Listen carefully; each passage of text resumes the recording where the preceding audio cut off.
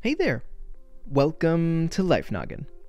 Hair loss can be a sensitive topic for a lot of people. While certain life events and old age can lead to hair loss, sometimes it could be caused by a health condition. One such condition is alopecia areata. Alopecia areata is a condition that can cause your hair to fall out more than normal. The average person can pretty easily lose up to around 100 pieces of hair a day from their scalp, with most of that growing back. Alopecia areata is when that hair loss gets more significant and you have trouble getting that hair to grow back. The amount of hair that falls out varies from person to person, but it can be anything from small, rather unnoticeable patches to greater amounts of hair loss as the patches increase in size and connect with each other. We often think of this as hair loss relating to what's on top of your head, but this condition can also include hair loss in places like your eyebrows and eyelashes, as well as your face and other parts of your body. According to the National Alopecia Areata Foundation, this condition is fairly common, affecting as many as 6.8 million Americans with a lifetime risk of 2.1%. While there's no cure,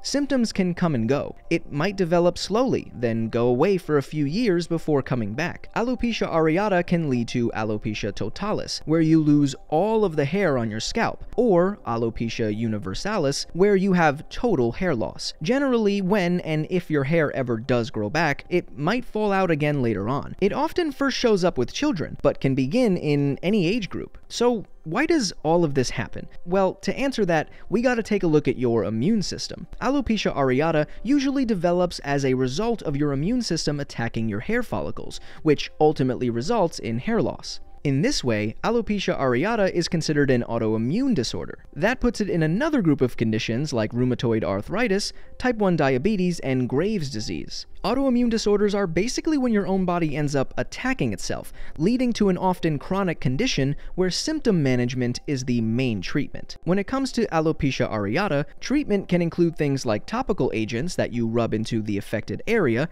and steroid injections to help stimulate hair growth. A study that came out in 2015 reported that excimer lamps could be an effective treatment for alopecia areata, especially in people with severe cases. In this study, they found that patients who received treatment with a 308NM excimer lamp began to see improvements after two months. Only mild side effects were noted, suggesting that the excimer lamp could be a safe alternative treatment for people with alopecia areata. Alopecia areata isn't the only thing that can cause hair loss, though.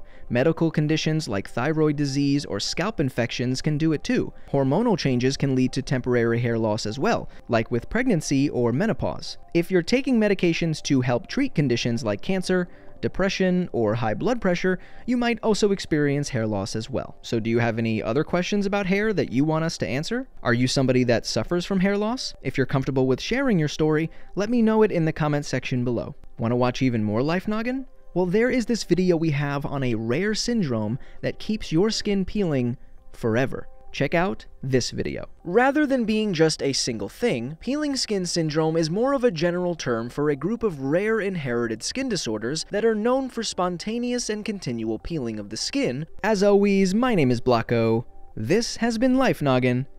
Don't forget to keep on thinking.